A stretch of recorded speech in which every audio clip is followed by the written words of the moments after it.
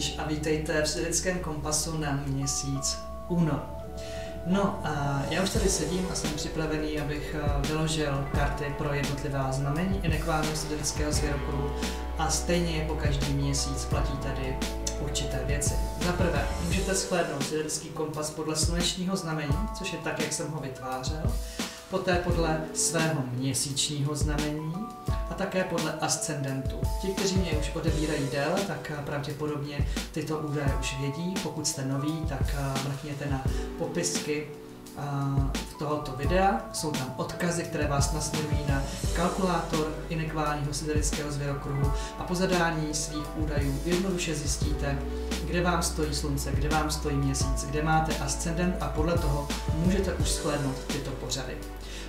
Odkaz vás vede na stránky astrologa Athena Chimenty.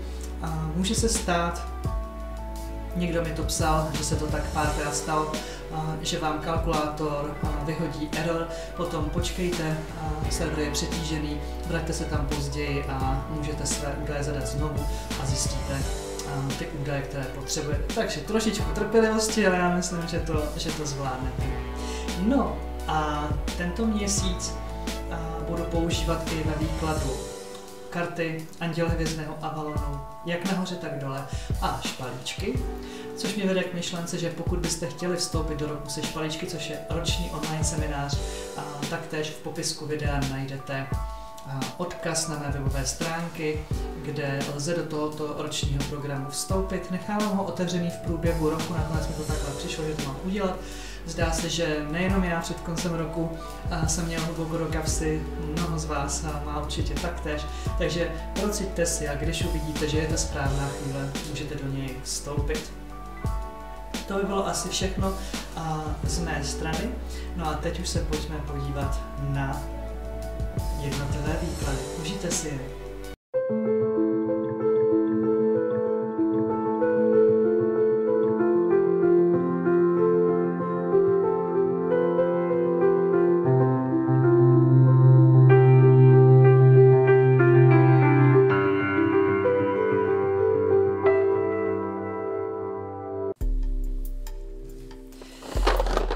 Bíci, já vás zdravím a už vám tady míchám špalíčky.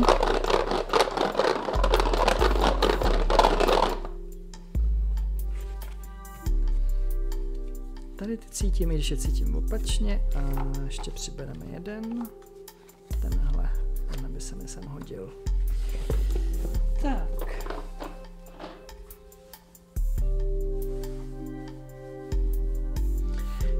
A pomocí karet Anděl hvězdného Avalonu se podíváme do měsíce února.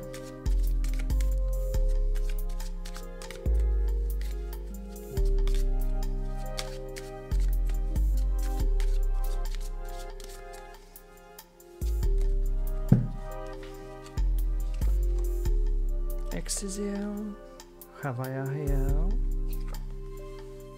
Damagáš, Ciáš, Kagáš, Alofáš, Ganiel, Michiel a Vafahiel.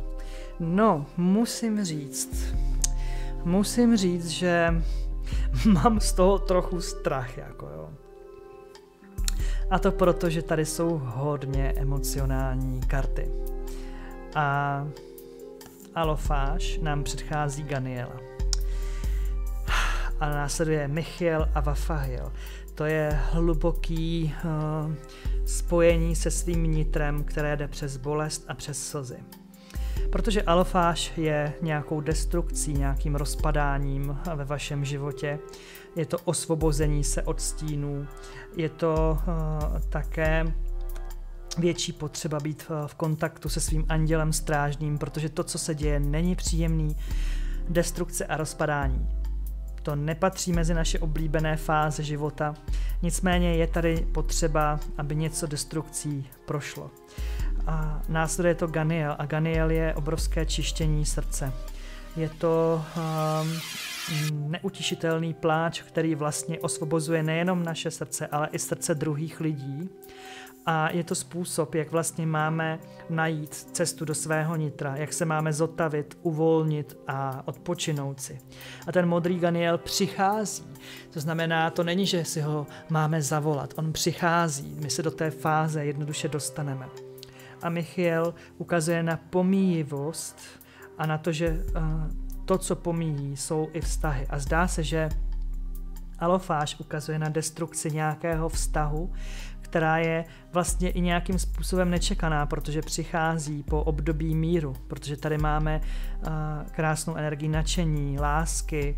Je to uh, o tom, že Eh, jsme tady pro druhé a předchází tomu krásná energie ciáše, kdy eh, pracujeme efektivně, cíleně, neúnavně, vnímáme v sobě světlo a předchází to damagáž, který ukazuje na naši vnitřní zralost, na to, že jsme napojeni na to vyšší já a vede nás to ke zdravému sebehodnocení a snažíme se rozprostřít v tom přítomném okamžiku.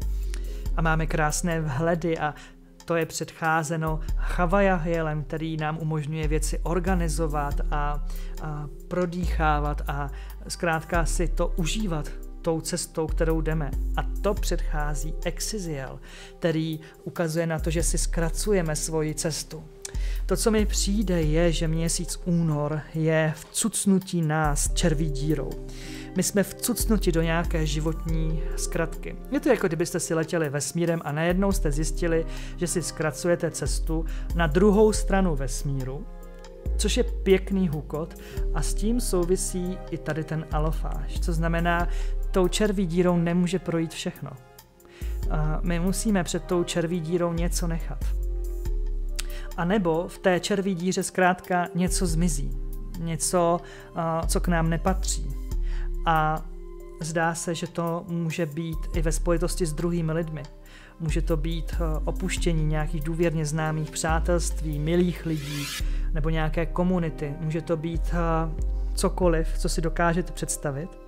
A výslednou kartou je Vafahil, který nás vede do obrovské skromnosti. A já cítím, že a tahle karta tady teď představuje zejména uvedení sama sebe do středové polohy, kdy tu vzniká nebo má vzniknout něco nového, ale já se k tomu musím hluboce, hluboce prodýchat, protože jsem pustil obruč, kterou jsem držel s někým jiným. A zřejmě to je i v nějakém vztahu, který třeba není pro nás každodenní, ale má pro nás nějakou významnou hodnotu. První špalíček říká, že do červí díry můžeme vklouznout skrze spánek hodně se můžou měnit vaše spánkové rytmy stejně jako můžete výrazně spát hodně dlouhou dobu. Eh, jako kdybyste prospali sedm dní ku příkladu. Co znamená spánek je i zkracováním vaší cesty. Únava je spojená s tím spánkem. To znamená, že když se probudíte, zjistíte, že jste unaveni snad víc, než když jste si šli lehnout a může to být způsobeno právě tím, že v uvozovkách prolítáváte tou červí dírou. A touha je něco, co ve vás eh, zůstává a co způsobuje onu bolest, protože touha nemizí tím, že prolítnete tou červí dírou, ale tím, že toužíte po něčem, co zůstalo před ní, nebo co se ztratilo v ní. A nezbyde vám nic jiného, než zůstat ve své skromnosti a ve svém úsilí postupovat tou životní cestou dál. Já si teď tady ještě vytáhnu kartu jak nahoře, tak dole a ta nám ukáže ten světelný most napříč tím měsícem. Temná noc je princip nahoře, krutý mráz je princip dole. Bílý strom stále stojí, je syntéza a víra je výsledek. Co znamená, že ta vaše cesta tím měsícem je zakončena objevením uh, víry nebo potřebou víry. Možná, že průletem tou červí dírou vy tu víru v něco ztratíte a vaším úkolem je ji objevit. Minimálně víru v nový začátek. Temná noc je princip nahoře, tedy a, ze zhora vás nafičí do té temné noci. Máte si projít tou temnou nocí, která mě teď mimochodem ještě asociuje ten hluboký spánek a tu únavu. Možná, že temná noc je také něco, co máte odžít fyzicky. Máte spát v noci, máte mít spojení sami se sebou ve snech, máte si uvědomovat snovou realitu. Bílý strom stále stojí, je předpoklad v podstatě, že neposuzujete, neposuzujete to, co vidíte, neposuzujete to, co se děje, neposuzujete ono rozpadání. Konec konců krutý mráz může představovat právě tu energii onoho rozpadání, co vnímáte jako velmi kruté. Proč vy pocitujete skutečnost jako krutý mráz? Bílý strom stále stojí, může být i medicína pro vás. Být tím bílým stromem, který tiše stojí v tom krutém mrazu a přečkává tu temnou noc, protože vnitřně ví, že jaro nastane. A i mi tady chodí, mi líbí si říct, že je to také váš nějaký vnitřní postoj k zimě jako takové a k zimnímu období. Nezapomeňte, že tato karta nemusí představovat nutně nějakou výhrušku, ale také nějaké konstatování toho, že za temné noci v krutých mrazech, kdy bílý strom jenom stojí, jde o to si udržovat víru, protože jaro přijde. Takže nechtějte po sobě v tom zimním období moc, zejména ne v únoru, Únor je pro vás zkrátka, ve které se máte hodně dobře vyspat, ve kterém se uh, můžete i ponořit do své únavy, když na to přijde a můžete se zaobírat svými touhami. No a když přijde něco, co je těžké, nezapomeňte, že procházíte čištěním. Tak jo, no a my se uvidíme v měsíci březnu a doufejme, že to bude pro vás už měsíc probuzení do toho jara. Mějte se krásně.